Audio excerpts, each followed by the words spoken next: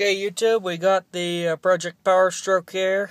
Um, got the transmission back in there with the new front pump and new torque converter.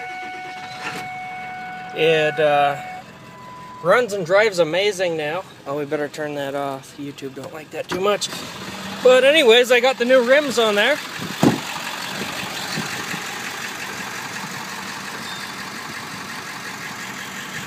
Oh, and I changed the uh, front um, headlight turn signal, signal markers. I changed those. Um, I think it looks a little bit better with uh, clear ones in there. Has a 20 inch rock stars. Um, looks pretty good, runs pretty good. So we'll go for a drive after I finish walking around and it showing you guys how it turned out. We might call this the completed video um, of the truck. Just have my microfiber drying towel there. Back seat looks good. The interior looks good from cleaning it the way I did.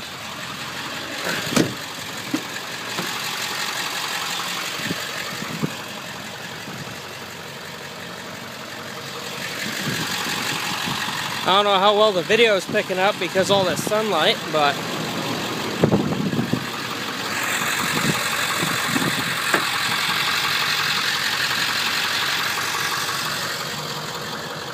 I mean the interior really came out a hundred times better than it was.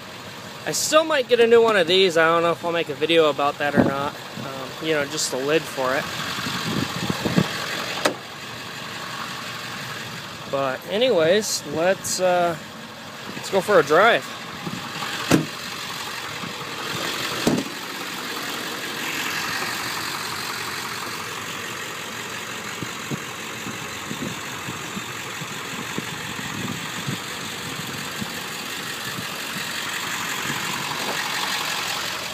Oh, and I just got done washing it too. That's why I'm over here at the Safeway.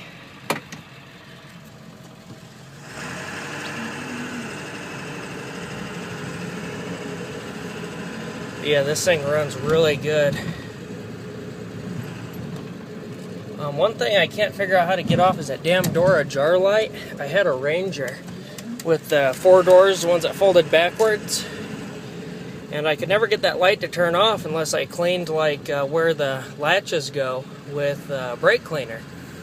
I've tried that on this thing and I can't uh, seem to figure out what what exactly the issue is. So maybe if one of you guys have uh, have one of these, maybe knows how to get that off if you had the same problem. I haven't got on the forums yet, but I'm planning on it because these interior lights will stay on until you hit about 15 exactly, uh, and then they go off. You see, so it's not bad in the day, but at night it's kind of a pain.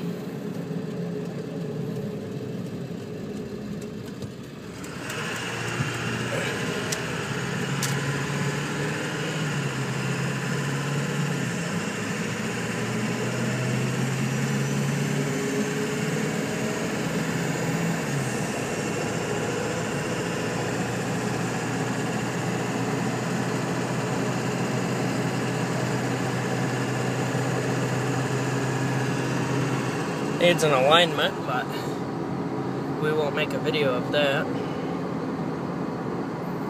So anyways, until another video, um, keep watching. I might do a video of my Dodge next. I've never really done a video of, you know, exactly what I have done to it. And I'm never a real ride in it, you know, explaining things or under the hood. So I might do a video of my Dodge. Um, so you guys look forward to that. And who knows, we'll get on another some some other redneck project you guys might like, or just random videos of different things. So, anyways, um, oh, and by the way, I uploaded a whole bunch of pictures of this truck um, to my Razzi account, and they will be up by the time this video is up. So I'll have that in a link down below.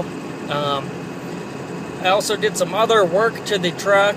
Um, the turbo, that baffle at the back of it, because it's a compound turbo, was like sticking and it wasn't very responsive. So anyways, I took that out and welded that. But a buddy of mine was over and he recorded a little video of me welding.